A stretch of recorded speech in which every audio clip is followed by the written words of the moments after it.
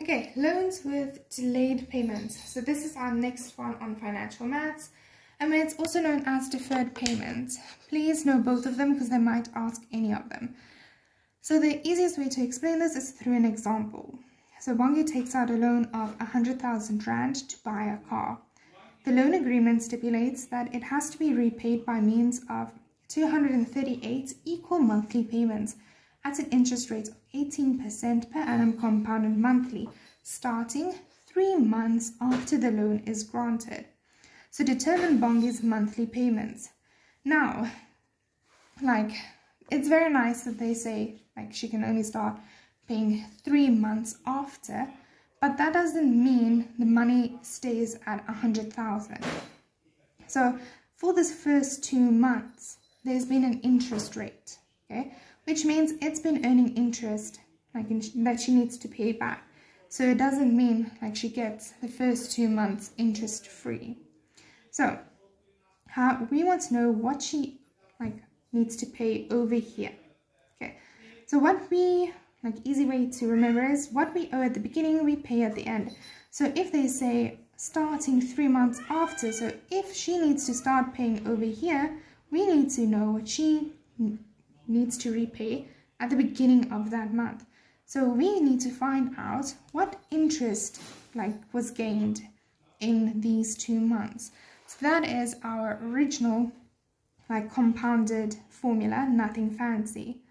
So over here we substitute in our like our first loan, which is 100,000 with our interest rate of 18% uh, per monthly, sorry, per annum compounded monthly and for two months because it's the first two months that we need to calculate. So we end up with this amount over here. So this is the amount, amount outstanding. It's 100 thousand plus the two months interest. Okay, so that is very important that you keep that in mind. Now, we're going to, to our present value calculation. Because it's a loan, it's outstanding. It's present value calculations. So now our present value, remember we still want to know our monthly installments. Okay, so our monthly payments.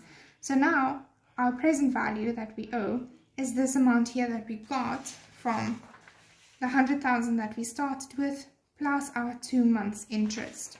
So we substitute that in, we substitute our months in over here. Please remember, like this is like the amount of like payments we need to install while we need to pay and they said in 238 equal payments okay so we know like how many we need to pay, but we don't know what we need to pay yet.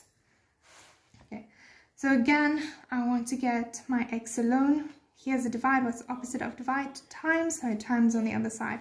I get x alone, here's a time, so it's opposite of times? Divide. So I divide on the other side. Now this whole thing I am going to put into my calculator, and then I would see my, well, Bongi's, monthly installments would be 1,591 rand, comma 35.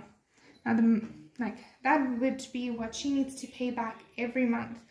Now, they can also ask you with this question, okay, like if this is the monthly installments that she needs to pay for 238 times, like what would be the final value that she pays like back?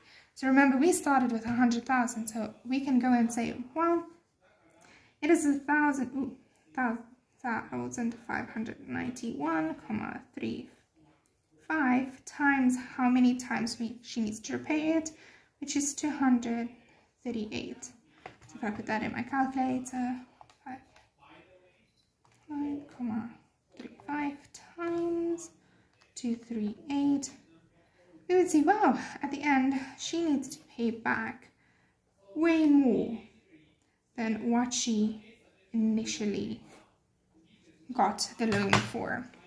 Okay, so that's a little bit of extra that they can ask, um, like what would be like the final amount that Bongi needs to pay back.